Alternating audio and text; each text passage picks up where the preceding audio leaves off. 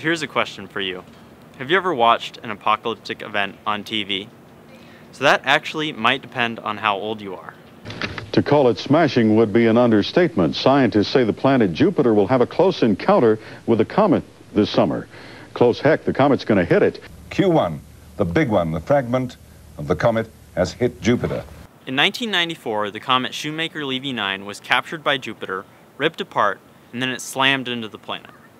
Now the largest pieces of the comet carried more energy than all nuclear weapons currently on Earth. And if the comet had hit Earth, most life would have been completely annihilated. We're talking about 100 million megatons of kinetic energy. 100 million megatons. Earth has been bombarded by asteroids many times through its history, from the extinction of the dinosaurs to the 2013 Chelyabinsk asteroid. But the Shoemaker comet was proof that large impacts still happen in our solar system.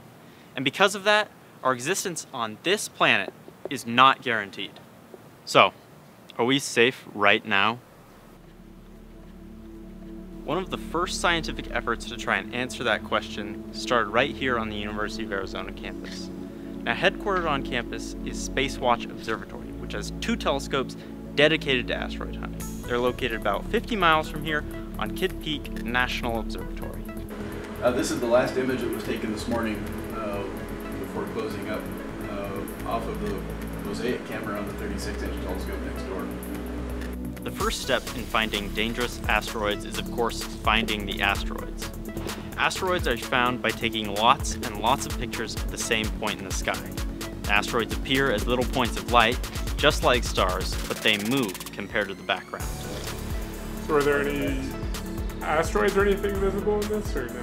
I was searching for one.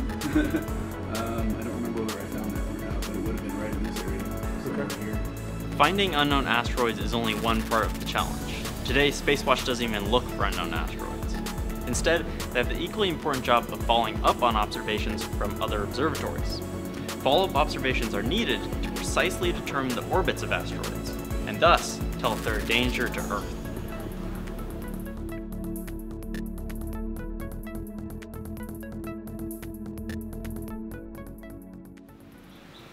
So far, these steps are good, but we still haven't addressed the biggest challenge. How do we know that an asteroid that we haven't found won't surprise us? So in 1992, a congressional report titled Spaceguard brought public awareness to the threat of asteroids larger than one kilometer. Asteroids of this size pose a threat to human civilization as a whole. Now, along with heightened fears from the Shoemaker comet, this eventually led to a congressional mandate that NASA locate 90% of asteroids larger than one kilometer within 10 years. So how do we know if we've found 90% of an asteroid population? If we search for 10 years and find 500 asteroids, how do we know if that is 90% or just 10%? So imagine the population of asteroids is like these blue golf balls and red ping pong balls. The red represent asteroids we haven't detected. The blue are those we have detected. When we search for asteroids, it's like we randomly pick a ball out of the group of both known and unknown asteroids. If it is blue, we just put it back. But if it is red, we replace it with a blue one. As we search, we pick out more balls, and eventually more and more balls will become the blue golf balls. The more of the population we find, the more we expect to pull out blue rather than red. By comparing the frequency of discovered asteroids we detect to the frequency of undiscovered, we can mathematically determine how much of the population we have discovered. Spacewatch, along with other observatories, reached their goal of discovering 90% of asteroids larger than one kilometer. So far, we haven't discovered any large asteroids that will hit the Earth. The probability of a large impact within the next 200 years is extremely small. So, we're safe, right? Well, don't feel so comfortable just yet.